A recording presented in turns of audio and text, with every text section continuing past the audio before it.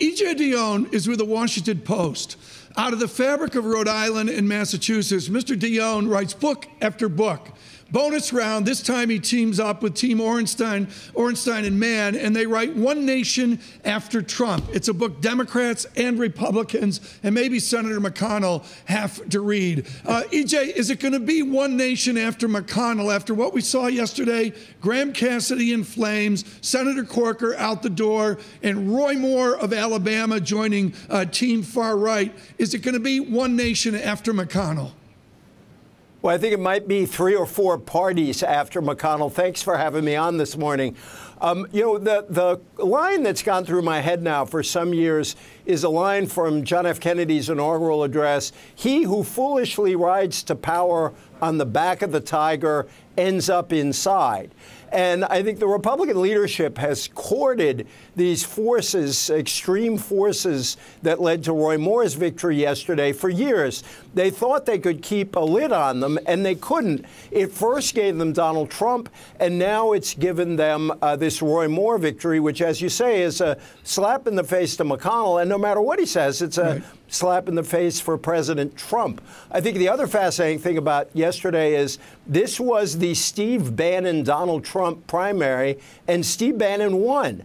Uh, and I think this is going to right. empower his forces in the party uh, to mount a lot of other challenges. And Bob Corker probably didn't look forward to that. One nation after Trump, and you talk about our little platoons. What is a little platoon now of note in the Democrat Party?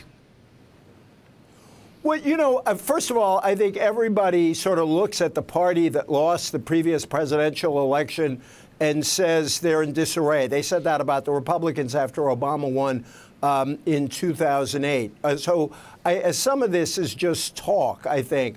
Uh, what Democrats have to figure out how to do is to bring together um, two basic ideas. There's a lot of talk about the Democrats losing the white working class vote. And they did lose it by a big margin, although President Obama lost it, but Hillary Clinton lost it by more. Um, but, uh, but the focus on uh, working class voters has to extend beyond uh, whites. The working class is also African American and Latino, and they've got to figure out a way to say, look, this party is committed both to racial justice and economic justice. Whenever I talk like that, people say it's my Bobby right. Kennedy fantasy, because of course Bobby Kennedy pulled together these constituencies. But that's what Democrats have to do. It's almost always their job. Uh, and they got to do it in a forward looking way that says we got a new economy here. Um, the jobs of the past won't exist in the future. But if we don't give people opportunity, yeah uh, we're going to have a lot of chaos in the country, and political chaos included. EJ Dionne, if we were to have presidential elections in the U.S. in 2018, who would the Democratic Party put up to stand against Donald Trump? Um, I think you would have to hire out Fenway Park up here in Boston to fit all of the Democrats uh, who want to run for president in 20. 20- uh, 2018. So I have no clue. First of all, I think all pundits should get out of the prediction business yeah. after the 2016 election.